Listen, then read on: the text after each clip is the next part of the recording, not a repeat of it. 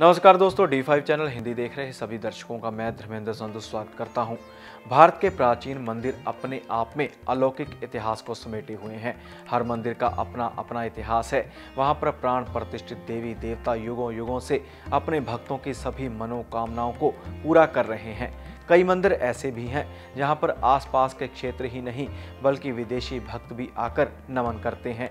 आइए आज आपको एक ऐसे ही देवी पाटन मंदिर के बारे में जानकारी देते हैं, जिस मंदिर के गर्भ में पाताल जाने का रास्ता छिपा हुआ है।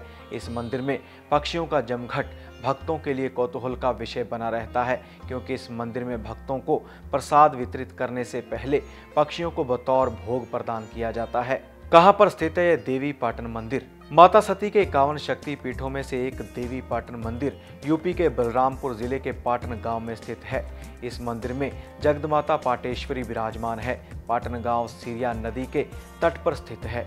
इस मंदिर में यूपी ही नहीं, बल्कि नेपाल के लोग भी माथा निवाकर माता का आशीर्वाद हासिल करने आते हैं। मंदिर के प्रसाद का भोग पहले पशु पक्षी लगाते हैं। देवीपाटन मंदिर के आसपास का क्षेत्र बेहद मनोरम है।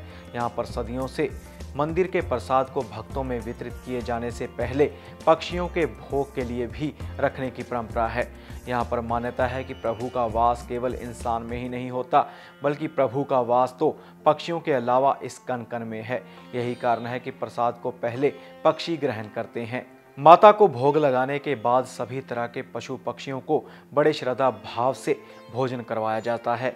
जैसे ही मंदिर के घंटे बजने लगते हैं, आसपास उड़ने वाले पक्षी व अन्य जानवरों का मंदिर के परिसर में भारी इकट्ठ हो जाता है। माता को चढ़ाए गए प्रसाद को पक्षियों का ग्रहण करना भक्तों को रोमांचित कर देता है। माता के गर्भगृह से जाता है पाताल तक रास्ता। पौराणिक मान्यता के अनुसार देवी पाटन मंदिर के गर्भगृह से पाताल तक अति प्राचीन सुरंग बनी हुई है।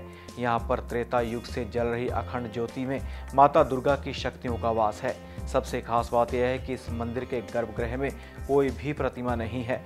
इस ज्योत के शीर्ष पर रतन जड़ित छत्र और तामर पत्र पर दुर्गा सप्तशती अंकित है। गुरु गोरखनाथ को यहाँ प्राप्त हुई थी सिद्धियाँ। इस मंदिर में त्रेता युग से जल रही अखंड ज्योत परिसर में विद्यमान सूर्य कुंड प्रमुख हैं।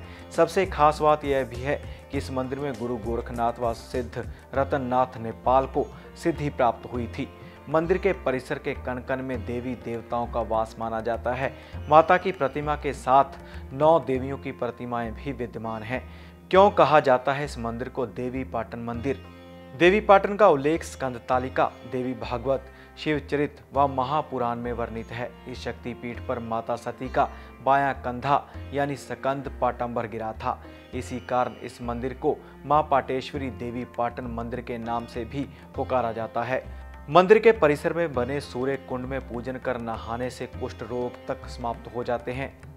सो दोस्तों, ये थी देवी पाटन मंदिर से जुड़ी जानकारी, जिसके बारे में मान्यता है कि इस मंदिर के गर्भ में पाताल जाने का रास्ता छिपा हुआ है। ऐसी जानकारी लेकर फिर हाजिर होंगे। जुड़े रहिए डी फाइव चैनल हिंदी के साथ।